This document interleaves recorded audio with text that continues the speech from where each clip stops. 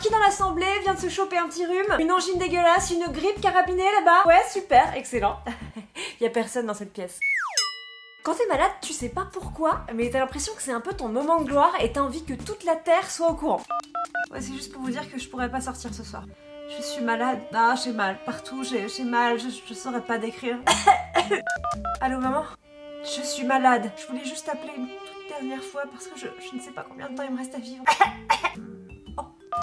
Oui, c'est juste pour te dire que bah.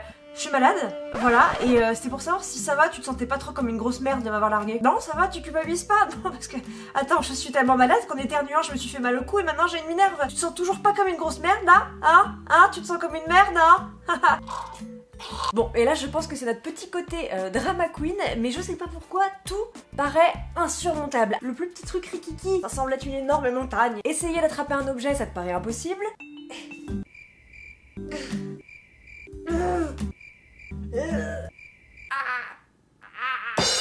Sortir de ton lit, ça te paraît impossible?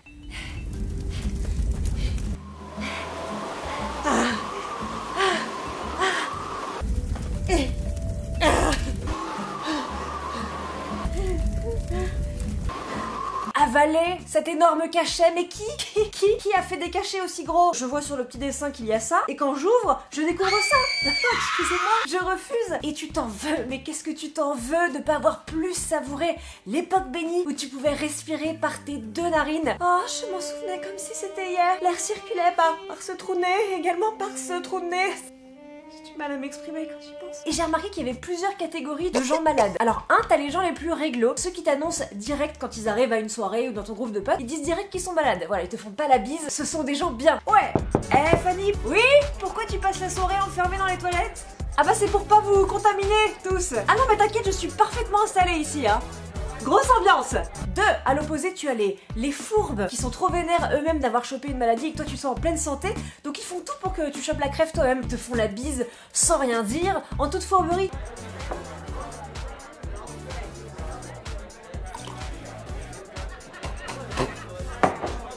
Cette séquence est sponsorisée par la CCF, la Confédération des Crados de France. Et enfin, entre les deux, il y a les demi-fourbes. Hein, c'est ceux qui te font la bise et qui 30 minutes après, dans la conversation, te balancent qu'ils sont malades. Quoi de neuf Pas, pas grand chose en ce moment, je suis, je suis malade, j'ai une colique, enfin, je fais caca mou, c'est chiant. Ah d'ailleurs, Pedro Ouais, tout à l'heure je t'essayais la main, du coup prends tout de suite rendez-vous avec SOS médecin parce que tu vas passer une sale nuit. de rien Et si tu fais partie de cette catégorie de population un petit peu dorée qui arrive à passer entre les gouttes et à ne pas choper la grève alors que tout leur groupe de potes sont malades, que tous leurs collègues sont malades, eh bien déjà félicitations, je te serre la main. Et ensuite, je sais pas si t'as remarqué, mais en fait, on devient complètement fou. En fait, on est tellement content de ne pas avoir chopé la grève qu'on fait tout pour garder le cap comme ça et ne jamais, jamais, jamais la choper. Donc toute activité extérieure devient chiante. hein. Par exemple, rentrer ou sortir de toilettes publiques, c'est extrêmement chiant.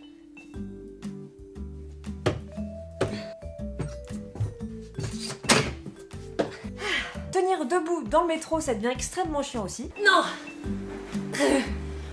Je ne toucherai rien Ah, Je ne m'accrocherai pas là-bas Et même juste respirer en société, ça devient quasiment impossible.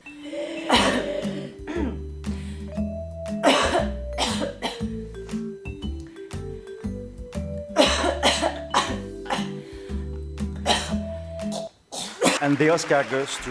Magnifique Abonne-toi en cliquant avec ton gros doigt sur la photo de moi.